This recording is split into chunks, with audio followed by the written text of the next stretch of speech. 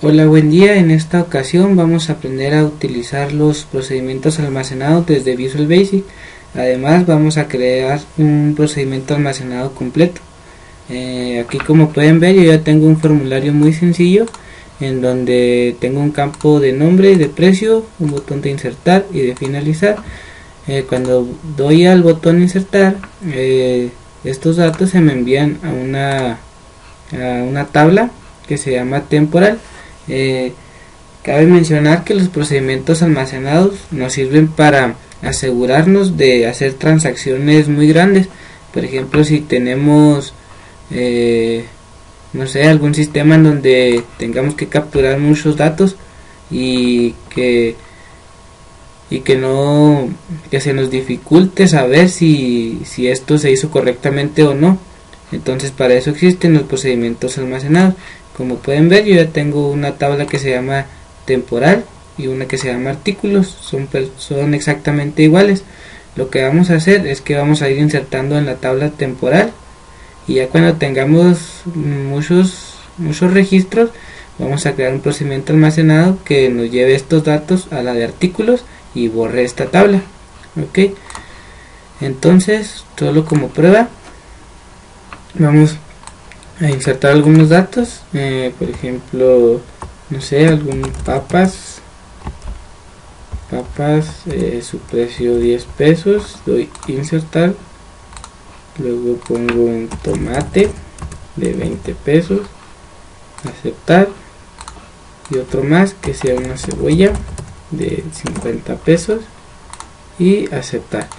Eh, verificamos que se hayan insertado en la tabla temporal y aquí están entonces supongamos que estos son muchos registros y lo vamos a pasar para la tabla artículos eh, yo ya tengo creada mi clase de conexión en donde solamente me estoy eh, conectando a la base de datos tutoriales. Y aquí es algo una función importante. Para mandar llamar a un procedimiento almacenado vamos a crear esta función que se llama procedimiento y va a recibir un valor de tipo string. Eh, vamos a abrir la conexión, vamos a crear un MySQL command que sirve para enviarle datos al servidor de MySQL. Eh, vamos a, guardar un texto en el comando, le vamos a decir que va a ser de tipo procedimiento almacenado. Eh, le vamos a añadir la conexión y lo vamos a ejecutar y después vamos a cerrar la conexión en caso de que truene eh, de que falle nuestro, nuestra consulta, entonces vamos a imprimir el mensaje para, para saber eh, eh, cuál fue nuestro error. ya cuando el usuario de finalizar es cuando vamos a, a mandar llamada al procedimiento almacenado. Aquí ya tengo indexada la clase conexión. Entonces lo que voy a hacer es que voy a, a poner conexión punto procedimiento y como pueden ver eh, recibe un string. Este string es el nombre del procedimiento almacenado que se va a crear en la base de datos. En mi caso yo, le voy a poner procedimiento. Ok. Y solo para, para ver que todo está correctamente le voy a poner un mensaje box que va a decir listo. Ok. Eh, ya que tenemos eso vamos a ir a, al Workbench. Eh, este este programa nos ayuda a gestionar de una manera más profesional nuestra base de datos, ya que en el PHP MyAdmin no permite eh, visualizar los procedimientos almacenados. Entonces en la base de datos tutoriales y nos vamos a ir a estas rutinas y vamos a crear un procedimiento. Ok, entonces esto que está aquí yo ya lo tengo acá en Sublime Text eh, estoy usando este editor de código porque acá en esta ventana se me dificulta ver mucho el código. Entonces mm, los procedimientos almacenados se crean en un lenguaje que se llama transact. Este lenguaje eh, nos permite hacer eh, programas si nos permite programar como cualquier otro lenguaje de programación el MySQL puro no permite crear variables, ni ciclos, ni nada. Entonces el lenguaje Transact es una extensión que, nos permite eh, hacer eso, crear ciclos, variables, banderas, todo lo que se nos ocurra. entonces aquí yo ya tengo creado esto que es básicamente lo que nos creó WordPress ¿sí? entonces lo primero que tenemos que hacer es que eh, le tenemos que decir que empiece begin y este begin corresponde a este end. Ok entonces lo segundo vamos a decir start transaction. Este start transaction lo que hace es que nos deshabilita el autocommit que trae por defecto MySQL. Entonces eh, esto lo hacemos para asegurarnos nosotros mismos por nuestra propia cuenta de que los datos se han insertado correctamente si se han insertado correctamente entonces vamos a hacer un commit y vamos a vaciar la tabla temporal.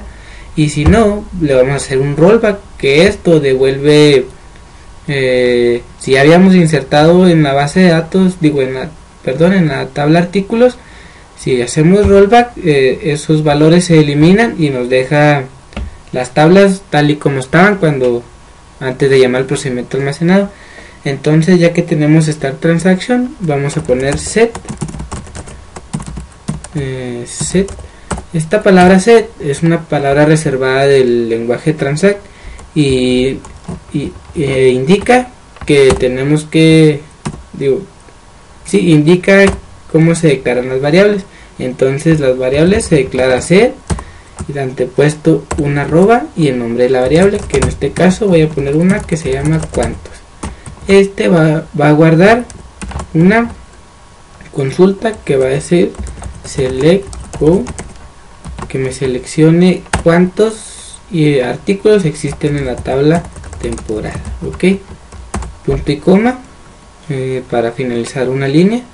Entonces voy a crear otra variable que se va a llamar contador igual a 1 y voy a, a comenzar a crear un ciclo eh, el ciclo while se declara de la siguiente forma.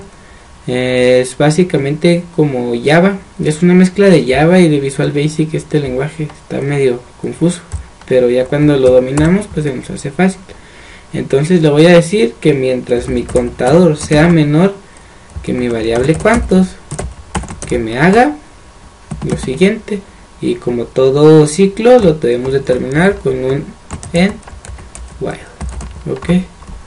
En while eh, aquí lo que vamos a hacer es recorrer la base eh, la tabla temporal y lo vamos a ir guardando en, en la tabla artículos que es la tabla final. Eh, yo aquí comencé de 1 porque el id de mi autoincrement comienza del 1 si ustedes quisieran empezar del registro 10 al 20 por ejemplo entonces ustedes van a a iniciar de, del contador lo van a iniciar en 10 ok. Entonces lo segundo vamos a crear otra variable que se va a llamar nombre y que me va a almacenar eh, una consulta. Le voy a decir que me seleccione select nombre from temporal where mi id sea igual a mi variable contador que este se va a ir incrementando de, dependiendo de nuestro ciclo. Ok entonces voy a crear otra variable que, mm, que nos va a almacenar el precio y se va a llamar precio. Entonces vamos a proceder a insertar en la tabla artículos. Entonces insert into artículos eh, nombre como precio eh, los values que va a ser la eh, la variable nombre y la variable precio ok y solo por último en este ciclo pues, le vamos a decir set arroba con va a ser igual a con más 1 esto es para incrementar nuestra variable contador para que vaya recorriendo todos los IDs ok eh, siempre que quieran asignar eh, algo a una variable tienen que poner set ok entonces para finalizar le voy a hacer un ciclo if. Entonces if la variable contador menos 1 porque la última vez ya se me incrementó una ok mm, es igual a la variable cont a la variable cuantos perdón. Entonces den cerramos el if en if con punto y coma y en, en if y luego como Visual Basic un else aquí.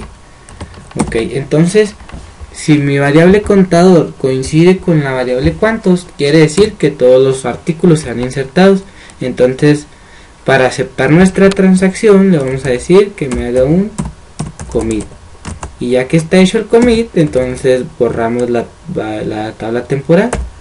Truncate table temporal. Ok.